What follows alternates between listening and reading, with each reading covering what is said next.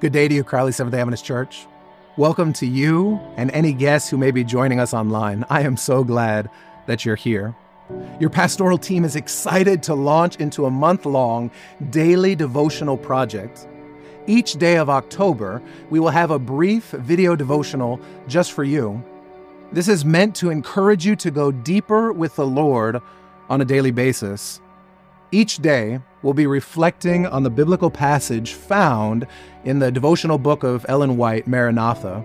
You can simply add this to your devotional plan if you already have one. However, maybe for some of you watching, you don't have a plan yet, and I would encourage you to use these videos as a launching pad to get into God's Word.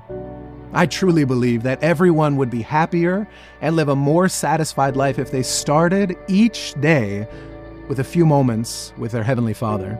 So let's do that right now. Let's start today.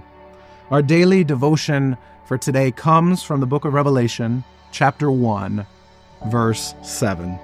This is what God's word says Behold, he is coming with the clouds, and every eye will see him, even they who pierced him, and all the tribes of the earth will mourn because of him.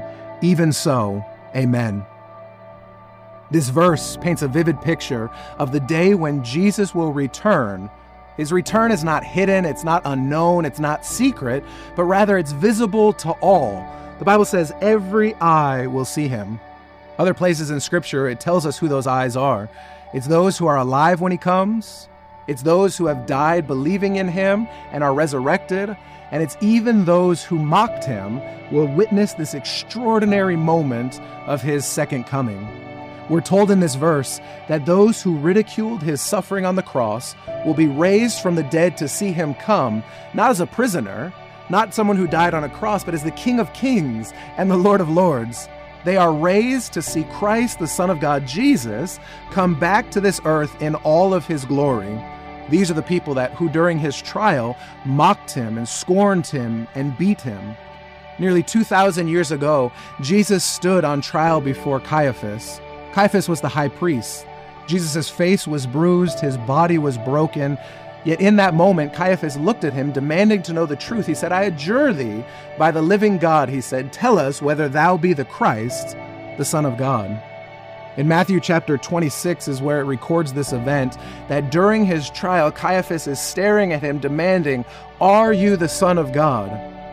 Jesus pauses and answers, It is as you said. He continues and says, Nevertheless, I say to you, hereafter you will see the Son of Man sitting at the right hand of power and coming in the clouds of heaven. Jesus assures Caiaphas that he will see that day, and this is what we are talking about. The leaders of the Jewish people who had awaited for their Messiah for centuries missed the fact that the Messiah was standing right before them, right in their midst. They reject the Savior of the world, the Messiah.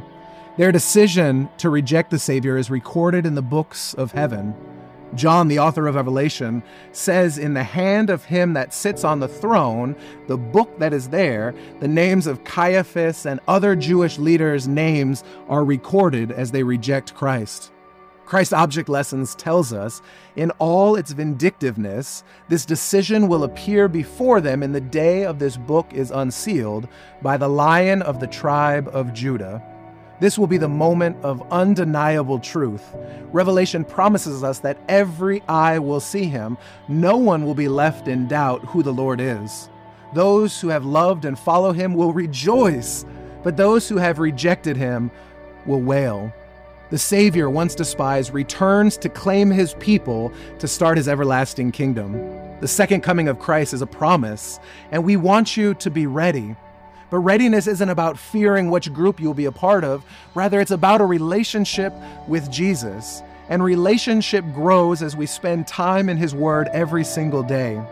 Revelation 1 7 points to us the reality of Christ's return, but it also invites us to live in preparation for that moment.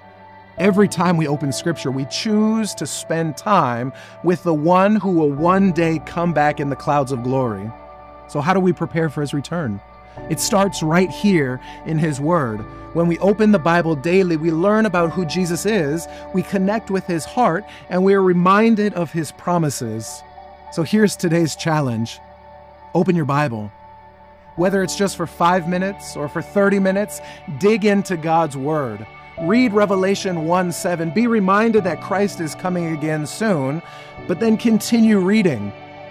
I ask you the question Are you ready to meet Him when He comes in the clouds one day soon? I pray that you are. I pray that you will not be like this group who is mourning his second coming, who is not ready for his second coming, but rather you are the group who rejoices and says, This is my Savior for whom I have waited. This is why we want every day to get into God's Word and spend a few moments with Him. We don't want to be guilty of rejecting our Savior. We don't want to be guilty of ignoring our Savior. Rather, what we want to do is dive deep into relationship with Jesus, the one who paid it all for you and for me. Let us pray as we end our devotional time today. Father God, Lord, I pray for everyone watching this video. I pray that as they spend time in the Word, you will speak to their hearts and to their minds. I pray that you will open their understanding to the things that they are looking at. And Lord, this special resurrection that we just looked about in Revelation chapter 1, verse 7, is a hard truth to understand. Why do these things happen? But we see, Lord, that there was a group who rejected your Son. Lord, may no one who is watching this reject Jesus. May no one who is watching this turn away from him so that everyone is excited when he comes in the clouds of glory. We say, Even so, come, Lord Jesus. We look forward to that day. Amen. Bless you, church family. Have a great day.